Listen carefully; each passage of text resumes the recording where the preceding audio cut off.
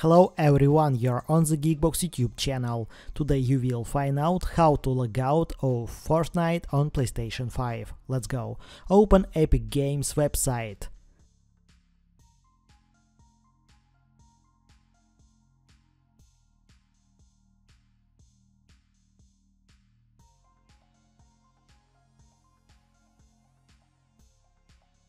Account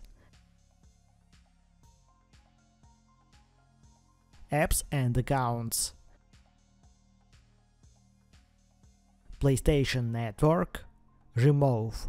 That's it. Now you know how to log out of Fortnite on PlayStation 5.